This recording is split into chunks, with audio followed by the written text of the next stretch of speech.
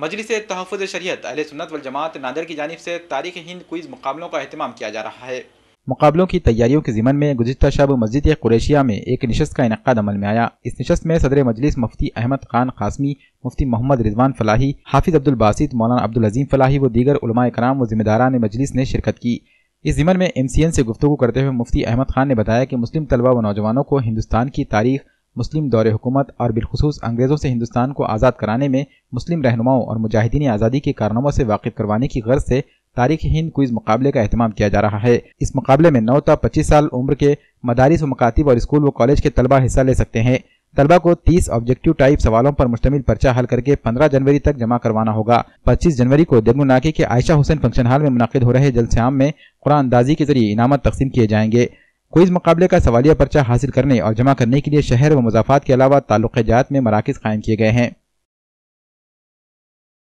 بسم اللہ الرحمن الرحیم۔ نحمد ونسلی علی رسول الکریم شہریان ناندڑ کو یہ اطلاع دیتے ہوئی بڑی مسرت ہو رہی ہے کہ مجلس تحفظ شریعت ناندیڑ ملحق اظہر ہند دارالعلوم دیوبند ہمیشہ ہی جو ہے مسلمانوں کے عقائد وغیرہ کے اعتبار سے فکر مند رہتی ہے۔ اسی اعتبار سے آنے والی چھبیس جنوری کے موقع پر ایک تاریخ ساز کوئز رکھا گیا ہے کوئز مقابلہ، جو کہ اپنی نوعیت کا پہلا مقابلہ ہے۔ اس سے پہلے تو بہت سے سیرت کوئز، اسلامی معلومات کوئز، عقائد کوئز رکھے جاتے تھے، لیکن تاریخ ہند کوئز اس کوئز کے اس مقابلے کا نام ہے، تاریخ ہند کوئز مقابلہ، جس میں پہلا انعام سات ہزار روپے رکھا گیا ہے اور دوسرا انعام پانچ ہزار اور تیسرا انعام چار ہزار روپے رکھا گیا ہے۔ اس کے علاوہ سات تشجیعی انعام کتابوں کی شکل میں دیے جائیں گے اور اس کی فیس جو بالکل معمولی رکھی گئی دس روپے۔ اور اس میں تاریخ ہند کے اندر سے بہت سے سوالات رکھے گئے ہیں کہ اس ملک کی آزادی میں علماء کرام نے کیا کیا قربانی دی ہے اور یہ ملک کب آزاد ہوا اور یہاں جتنے مسلمانوں نے بنائی ہوئی چیزیں ہیں تو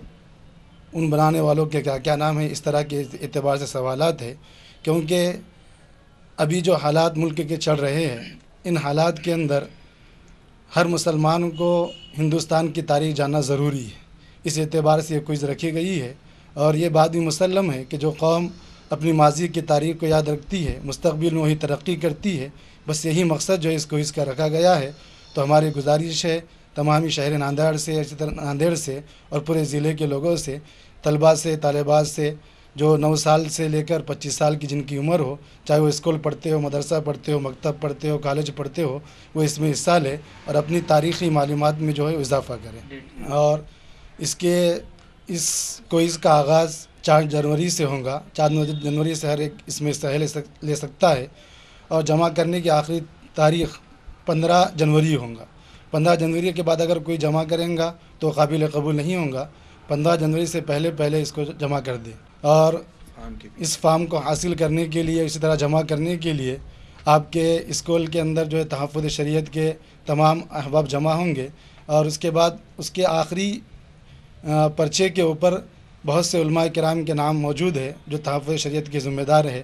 ہر ضلع کے اعتبار سے اور ناندڑ کے اعتبار سے بھی آپ ان کے پاس جمع کر سکتے ہیں۔ جمع وہ شان جلسے ہوں گا